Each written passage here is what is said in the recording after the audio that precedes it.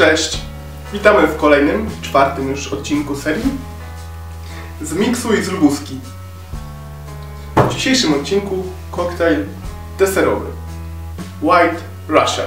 Nazwa tego drinka wywodzi się od stronnictwa białych walczących z bolszewikami podczas rosyjskiej wojny domowej.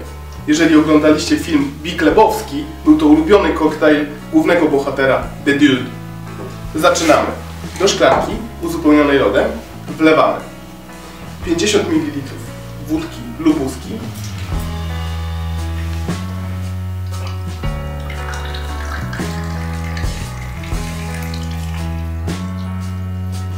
słodycz i pobudzenie zagwarantuje nam dodanie 25 ml dobrej jakości likieru kawowego. Deserowy charakter zapewni dodanie 20 ml śmietanki do środka. Są dwa sposoby podania.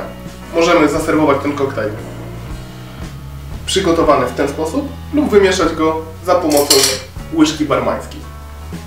Mi oczywiście odpowiada bardziej ten sposób, ponieważ będziemy kolejno przechodzili przez trzy smaki. Śmietanki, która osadziła się na środku, poprzez wódkę i likier kawowy, który przy finiszu zapewni nam spore doznania deserowego posmaku kawy. Także taki oto prosty koktajl możecie bez problemu wykonać sami w domu. Pamiętajcie, aby subskrybować nasz kanał, śledzić nas na Facebooku, na Instagramie znajdziecie nas pod hashtagiem CocktailTV. Tymczasem czas na degustację. Wygląda apetycznie. Trzy warstwy odróżniają się, więc zaczniemy konsumpcję.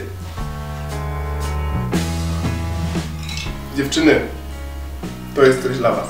Panowie, jeśli jeszcze nie znacie tego przepisu, radzę Wam się z nim zaprzyjaźnić. Bo jeżeli wykonacie go raz swojej kobiecie, to będziecie musieli codziennie przygotowywać kilka porcji tak.